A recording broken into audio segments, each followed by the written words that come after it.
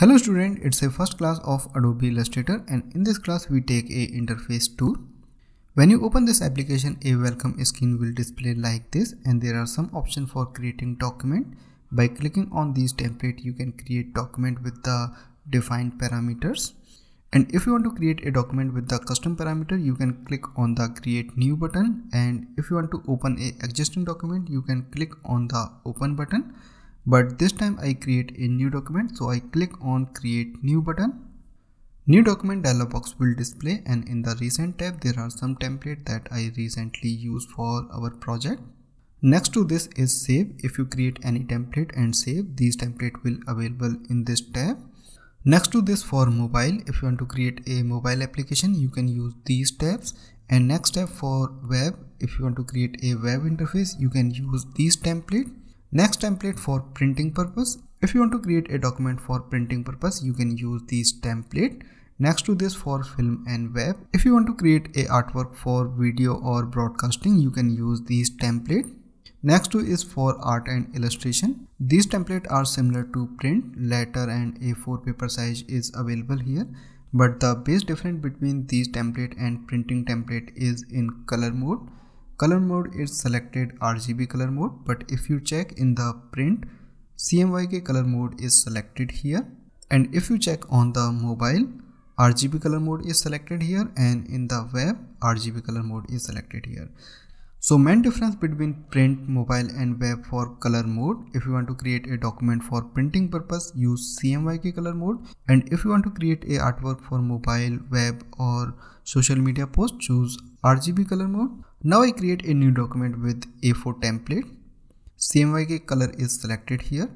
Click on the create button and create a new document with the defined parameter.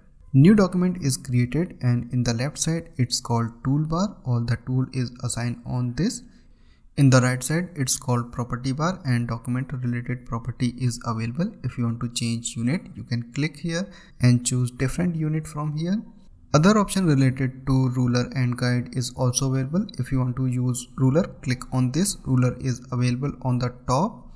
And if you click again on this, you can off this. And there are some other options related to guide and snapping and in the bottom side there are some quick actions. These options will change based on the tools. If you select a shape tool these all parameter is changed on the tool selection. If you select any other tool these parameter will also change. In the bottom side it's related to document scaling. If you choose 100% document will scale up to 100% and if you want to fit to screen click on the fit on screen if you are working with multiple artboard and want to change one artboard to another artboard, click on this arrow and choose different artboard from here and you immediately switch to other artboard. And there are some other options related to scrolling. If you want to scroll document, click and drag, document will scroll and this for up and down. You can click and drag in up or bottom direction so you can scroll.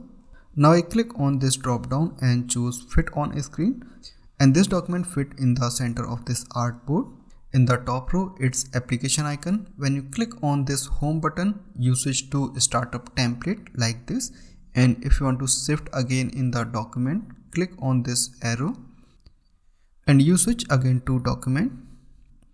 Next to this icon, these are menus. These are same as any other applications. Next important tool is workspace. By default, essential workspace is assigned and if you are working with typography you can use typography workspace. Font related options and color related options is available there. And if you are working with printing so brush and paint related options is available there. In this training we use essential workspace. So i leave this same as i click outside.